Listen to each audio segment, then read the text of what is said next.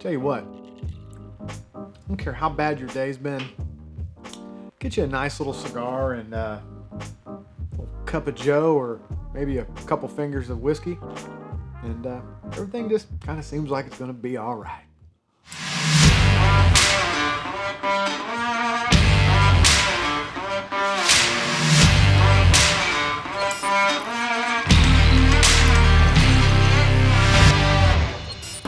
Hello everyone and welcome back to another video. Today it is time to go over, if you can tell from, got our little cigar bible up here and we've got a nice little assortment of cigars.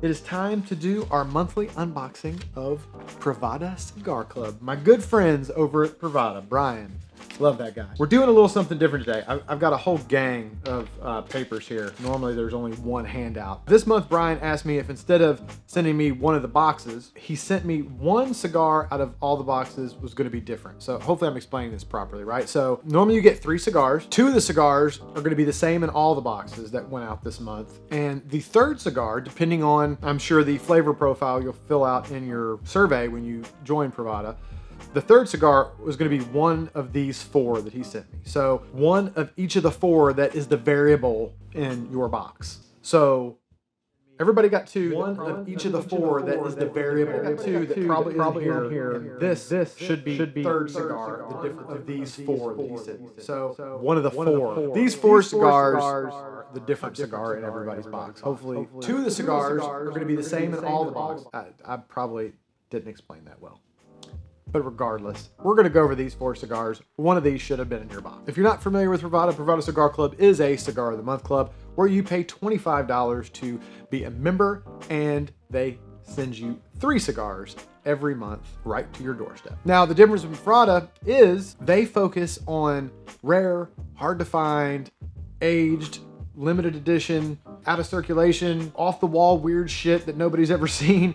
Pretty much none of the stuff you get in Privada for the most part is gonna be something you find at a brick and mortar. These are all super rare, unique cigars that are just kind of something to look forward to every month. Privada has also recently opened up their own shop. Some of the rare stuff, they do have extras in their shop that you can buy, and they also opened up a part of their shop that they carry production cigars, so it can kind of be a one-stop shop. It should be noted, I'm pretty sure Brian told me the other day that Privada is closed for new members. Uh, they've kind of hit their threshold that they want to hit, and now it will be on waitlist. So I'm not 100% sure how that's going to work, when he's going to have the wait list ready and all that stuff. Privada means private, and it really is a private club at this point. Uh, if you're in there, you're one of the cool kids. If you're not, get on the wait list and you can be one of the cool. I'm just kidding. You're still cool if you're not in Privada. We still love you. But seriously, I think Privada is gone to wait list because I think the club is full, if I'm remembering what Brian told me correctly. So just a side note. Today, I am actually not smoking one of the cigars in the bundle. I am smoking a little something special little sneak peek, if you were. If you've watched my videos for a while, you'll know Brian and I put together a Siers signature bundle back around Christmas time for you guys. I went through with Brian and we curated some bundles based on some cigars I like. This is one we've been working on for several months. This is a little sneak peek of one of the cigars that's gonna be in that bundle. I think we're probably gonna have that bundle ready for you guys next month. And this is a little sweet number from Robert Caldwell. I don't want to show you guys too much because I want it to be a surprise, but this is a sweet little number from Robert Caldwell that, if I'm not mistaken, he rolled especially for the bundle. There were several of the ones that we got rolled specifically for the bundle, and I think this was one of them. It's never been in this size before. It's a tasty little number. You guys are gonna love it. Can't wait. But anyway, little sneak peek. But this month, July Privada box, we got some winners in here. So first, look at this guy right here. I love a Lancero. I'm not going to get too far into the Lancero thing because you guys know I've talked about Lanceros till I'm blue in the face. They're great. When they're good, they're fantastic. The, the slight downside of Lanceros is because they're skinnier, they are harder to roll, and sometimes you can get a bit of a snug draw with Lanceros. When they're on, they're on, buddy. Your wrapper to leaf ratio is bang up and uh, I think they're the best representation of a blend you can get. They are delicious. We're gonna go over my notes and Brian's notes and everybody's notes and we're gonna try to do this in a relatively quick manner. And I've got all the, I got a lot of literature, okay? So there's gonna be a lot of jumping around today because of the way we're doing this month's video. So this dude, the first Lancero of the bunch. This is the young, hmm, damn it, Tabacarlos, Tabacalor. Today, Junior? Tabacaleros, young Tabacaleros, freshman, aged six years. I'm probably destroying that. But if I didn't, you guys would be disappointed. I'm not gonna read the whole story on all these because it'll take forever, but basically, to summarize, Christian Eiroa, man, I am, this is getting ridiculous. Christian Eiroa, Eiroa, Eiroa, Eiroa, E-I-R-O-A, Iro, Iro, Christian Iro, fuck it, whatever. The founder of Iro Cigars. I'm killing that, I'm sure. Was born and raised in tobacco and born to Juno Aurora, founder of Camacho Cigar. Dude, these names. I mean, really, seriously, why does everybody gotta have complicated names? Why can't people be like Smith? What am I saying? My name's Siers. Nobody pronounces that right either. Who the hell am I to judge?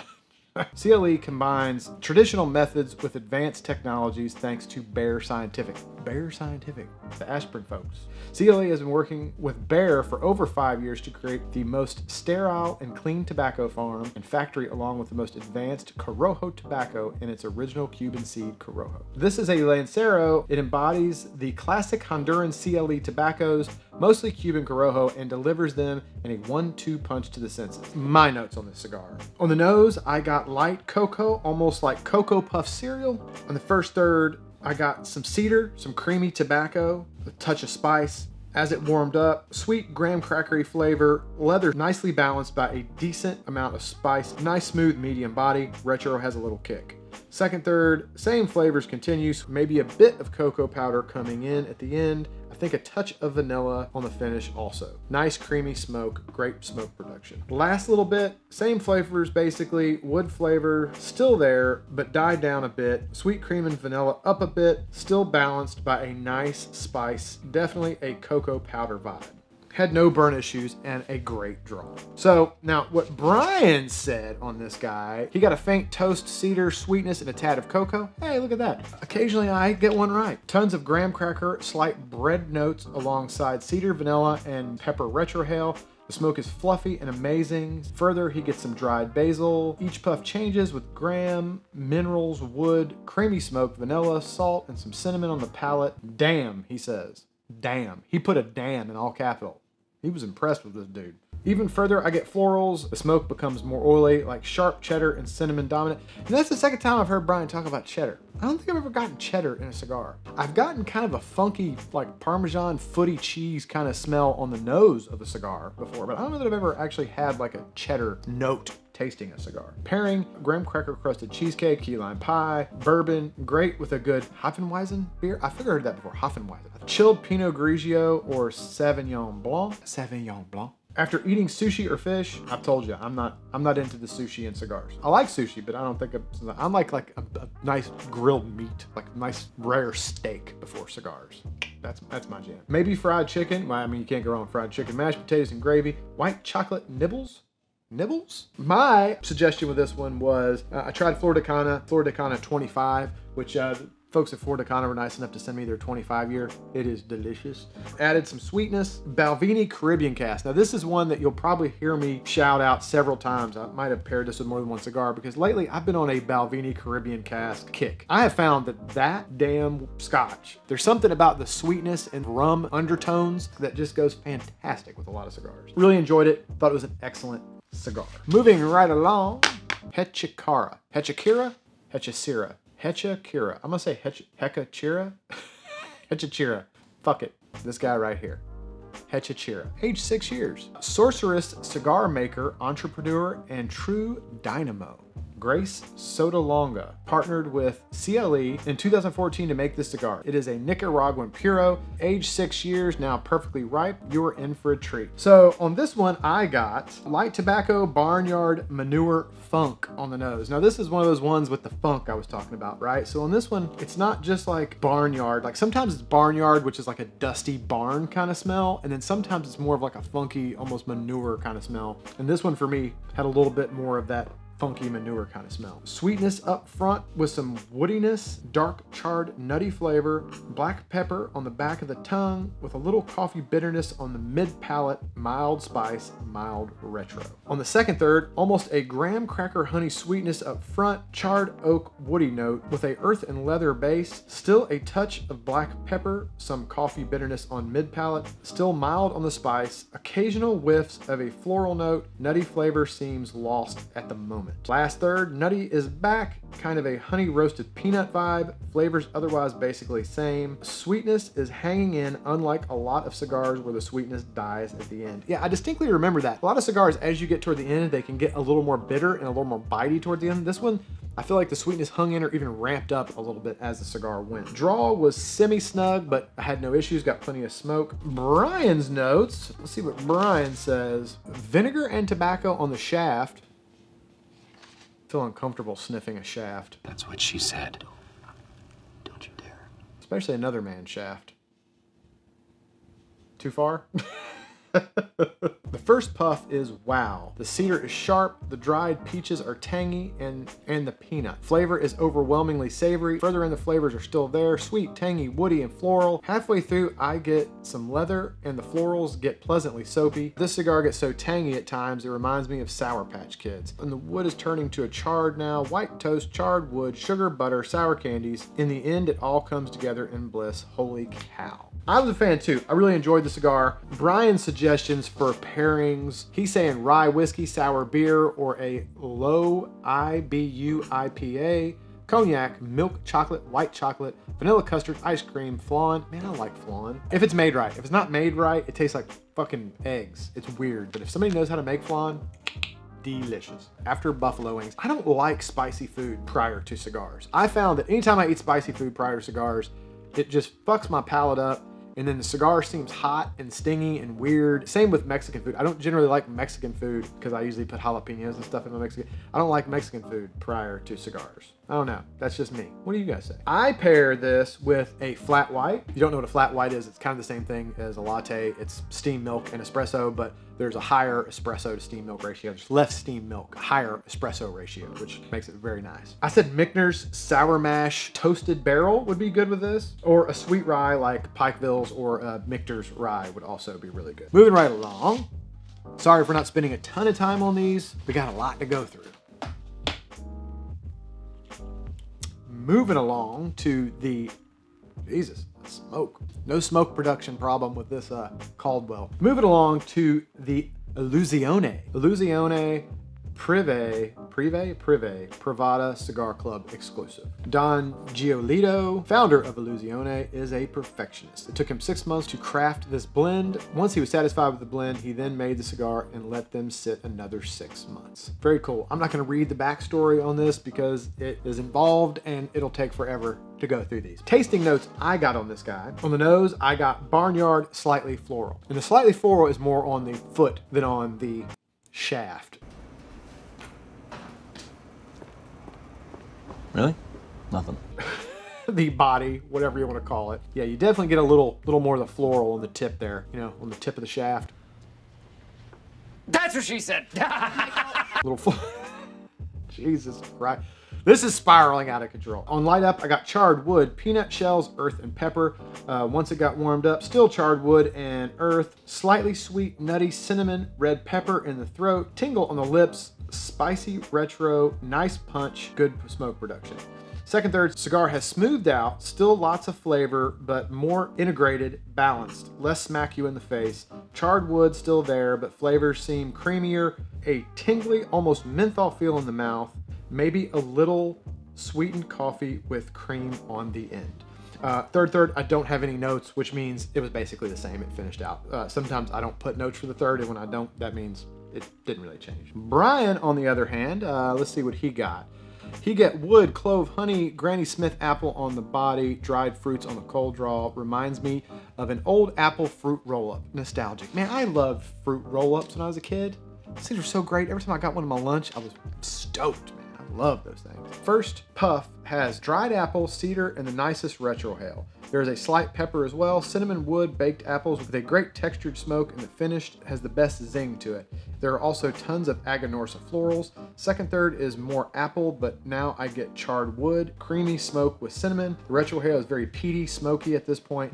The final third, I get much dried fruits and florals. It's unreal. This thing is a true masterpiece. He is suggesting pairing with Sumatra or medium roast coffee, wheat ale with an orange slice. Okay, that's against man law. You can't fruit the beer. Let's just go into that. You don't fruit beer. Some of you may disagree. You might like a Corona with, well, we gotta be careful saying Corona these days, but you might like one of those with a lime. You might like one of these, the wheat beers with the oranges and shit. I'm out. You gotta put fruit in the beer. The beer's no good. Don't drink it. You don't fruit beer. I Thought that was a man law at some point. Yeah, Blue Moon. See? Blue Moon. That's another one. Useless. Who wants that shit? Lowland Scotch, Jack Daniels, Spanish red wine, apples and honey, apple pie a la mode with vanilla ice cream and apple pie a la mode with ice cream. Now you're talking my language. Whipped cream, I feel like eating sour gummies a few hours beforehand may bring out the tangy and fruity notes. After a meal of barbecue ribs, Champlain. You got some Champlain up in here. I would agree with some of that. Don't fruit the beer. Okay, we, we went over that. This thing had a lot of spicy notes for me, so I feel like, and it was punchy. It had a lot of strong flavors. So I feel like this would hold up well to a nice, strong, robust whiskey. Probably hold up well even to an Islay Scotch if you wanted to do something like that. I think this would hold up really well to like an Elijah Craig barrel proof. That would be really good. I think this might go well with some Russell Reserve single barrel, which I think is about 115 proof. It's got some nice sweet flavors that might kind of balance out some of the spiciness of the cigar, and I think it would be really good. So that would be my suggestion. Not fruited beer. Everything else he said except for fruited beer. I'm out on the fruited beer. No fruit in your beer. You can't fruit the beer. Last, but certainly not least, this might have been my favorite this was a super dark wrapper, which you guys know I tend to lean toward the dark wrappers, and it's a Lancero. So come on, you know I'm gonna like this one. OSOK, one shot, one kill. The deal on this guy, again, we're not gonna go too deep into the backstory because it'll take forever, but this is an OG OSOK by Edgar Hoil, 2015 Lancero, aged five years. This is a Matt Booth cigar blend for a guy, Edward Hoil. It's a Nicaraguan blend. The one after this was a Honduran, but this was a Nicaraguan with a little Honduran. So it says there is a little Honduran in here. I got earth, pepper, spicy cocoa on the light up. Once it got warmed up, it reminded me of like spicy chocolate. So have you ever had like spicy chocolate where they put actually like red pepper flake or some something spicy in some dark chocolate? That's kind of what this reminded me of because I got this real good chocolatey note, but also with the spiciness. Really nice. Also got some woodiness. Retro has some heat, an earthy base with a touch of mustiness at times. Second third, cocoa is getting sweeter, almost a hot cocoa flavor. Spiciness levels off a bit, but still there. Spicy on the lips, a little black pepper tingle. Charred oak wood, still earthy, almost basement vibes. Finished off, stayed basically the same. Cocoa went to a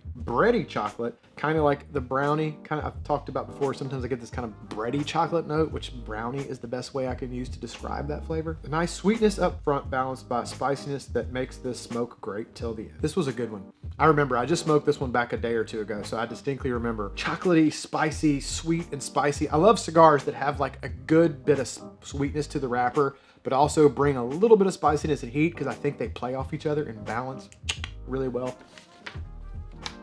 Brian got funky cheese. Man with the cheese. Brian, did you eat a lot of cheese before you sampled these cigars or what, brother? That's, that's a, you got a lot of cheese going on this month. Funky cheese barnyard smell on the body. The first puff is very earthy with a great spicy sensation in the mouth, but not overwhelming. Certainly more mild than it looks. Earth, cocoa, black pepper, and oak. Not much on the retro at first. I start to get a real root-like flavor uh, vanilla root, wood. The smoke is also getting tangy, sometimes sweet, sometimes more sour. Even further in, I start to get a vanilla charcoal sharp cheddar earth. He explains that when he says earth, he really means like a mushroom or soil, which yeah, I mean, that's kind of, people say earth and they're like, we've never eaten dirt, asshole. How the hell do you know what earth tastes like? But it's that kind of loomy, mushroomy, earthy flavor. I mean, that's that's the flavor you get in a lot of cigars. Sometimes it gets very like aged and musty, which almost reminds me of like a basement kind of thing. But anyway, he described that. Then comes the good stuff. This cigar really comes to life in the second half. I start to get deep, dark fruits that remind me of preserves or jam. There is a detergent-like quality in the floral note. Vinegar wears down but the wood kicks up pretty intensely. Then I get a note of lime, but further down it becomes sour grape. Wow, this is complex. It ends with white pepper, vanilla, earth, and charcoal. Very interesting. Pair this with bourbon, cognac, rum, light beer, white wine, after Italian food, root beer about an hour before M&Ms. I really like root beer with cigars. I'm not a huge soda guy, in general, I don't recommend soda with cigars because I think the kind of carbonated soda can almost kind of sting uh, because of the carbonation and the acidity of it. I think doesn't always go well with cigars, but like a nice root beer or a cream soda, I think there's something about those flavors that go super well with a cigar. I went back to Balvenie on this one. This cigar was fantastic with Balvenie. There was something about this cigar that the Balvenie came out all sweet brought out like this sweet vanilla kind of note in the cigar and the Balvenie would just tasted like honey and it, it was just I would definitely recommend Balvenie Caribbean Cask with a cigar. I think I said that on a previous one, but I told you I was going to be revisiting that because went great with that cigar. So that is it. Sorry if this was a little bit of a disjointed situation this week. That was a lot of stuff to go over. We had four cigars. Brian always includes extensive notes on these, uh, so I had to paraphrase some of the stuff. But nevertheless, another great month from the good folks at Privada. Before we finish, I always got to do a shameless plug. New shirts are out. So if you haven't checked those out, we've got some new merch, we've got some hats, we've got some shirts, got some new stuff on the website. So definitely, I'll leave a link below. Definitely go check that out if you're interested. This is the way. Got a little flicking you guys off. Little uh, whiskey bottle and a cigar because, well, that's the way I live life, whiskey and cigars. As always, I can't link any of the Privada stuff down below because of YouTube restrictions. So if you go to the website for the shirts, I'll actually put a link to the website. Not only is there new merch there, but there will be links to Privada so you can get all the information there if you like. I think that's it. I think that wraps this one up. I'm gonna sit here and finish this fantastic Robert Caldwell right here. Next month, we may not do a Privada unboxing. I don't know, we'll have to see if we can fit it in because if we drop this signature bundle next month, as planned, then I might just be doing a review of the bundle and kind of showing you guys that. So depends on how next month works out, whether we end up doing the bundle or we do a Privada box for next month. But nevertheless, there will be some form of Privada stuff on the channel next month. For the month of July, that wraps it up. I hope you guys enjoyed this video and got some good information out of it and enjoyed just kind of hanging out and maybe having a cigar with me. If you did, feel free to smash that like button. That always helps us out. If you're not a subscriber, please consider doing so. We'd love to have you on board. I hope everyone is having a fantastic week. Happy smokes and long ashes to all of you. We will see you in the next video. Man, I am excited about this Caldwell. I'm excited about the whole bundle. I think you guys are really going to enjoy it. We spent like months curating this bundle, so hopefully you guys like it because it wasn't a quick thing. We've been working on this damn thing since almost the beginning of the year. Just saying. Hopefully you guys enjoy it. Coming soon. Keep an eye out.